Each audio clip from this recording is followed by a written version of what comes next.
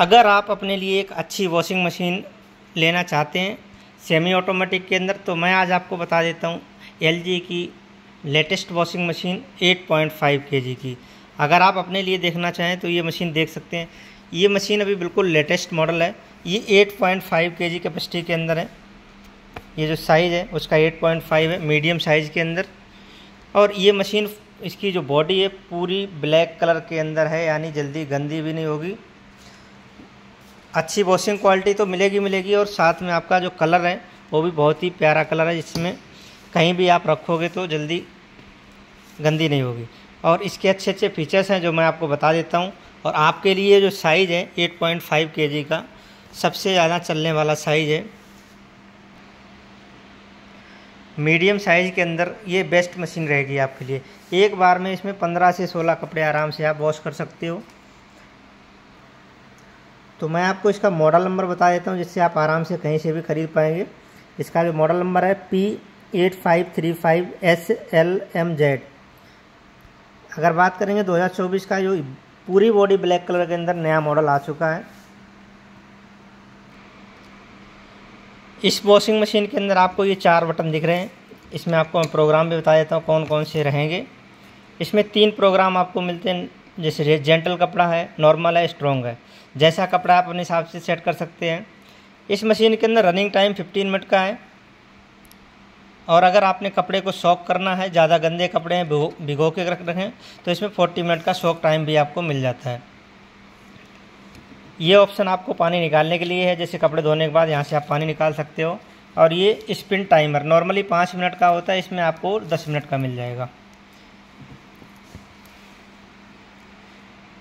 जब भी आप कपड़े धुलोगे, कपड़े धुलने के बाद मशीन जब बंद होगी तो इसके अंदर आपको बजर का भी ऑप्शन मिलेगा।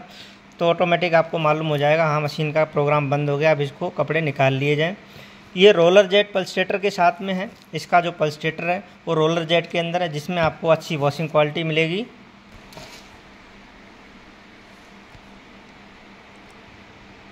ये अंदर से आप देख रहे हो, इसमें रोलर भी लगे हुए हैं। स्क्रबर स्क्रबर भी है और पंचिंग भी है। तो कपड़े को जो है अच्छी तरीके से हर मूवमेंट पे आपको अच्छी वॉशिंग क्वालिटी मिलेगी। इसमें आपको दो लिंट फ़िल्टर भी मिलते हैं, जो कपड़ों का जो डस्ट है, उनको इकट्ठा करने के लिए दोनों साइड लगे होते हैं। अदर ब्रांड में आप देखोगे इस टाइप के फ़िल्टर आपको नहीं मिलेंगे। तो इसमें आपको अच्छी वॉशिंग क्वालिटी मिलेगी, कपड़े की अच्छी स्क्रबिंग होगी और कपड़े की जो फैब्रिक है, वो भी ख़राब नहीं होगी। तो सबसे ज़रूरी चीज़ है, वो आपको वॉशिंग क्वालिटी इसमें बेस्ट मिलने वाली है। कलर आपको अपने हिसाब से आपको मिल जाता है ब्लैक कलर के अंदर। और कपड़े सुखाने का जो प्रोसेस है, ये बिन जेट ड्राई के अंदर वॉशिंग मशीन है। ड्रायर भी काफ़ी बड़ा है और जल्दी कपड़े को सुखा देगी। ये जो टेक्नोलॉजी है, कपड़े को जल्दी सुखाने के लिए होती है। एलजी की लगभग आपको सभी मशीनों में आपको देखने को मिल जाएगी। एक दो बेसिक मॉडल छोड़ के। इसको इधर उधर मूव करने के लिए इसमें बिल लगे हुए हैं। आराम से मूव भी कर सकते हो नीचे साइड में। कहीं आप बाहर रखना चाहो आपने कहीं भी रखनी है तो आराम से मूवमेंट भी इसकी कर सकते हो। बिल भी आपको इस मॉडल के अंदर मिल जाते हैं।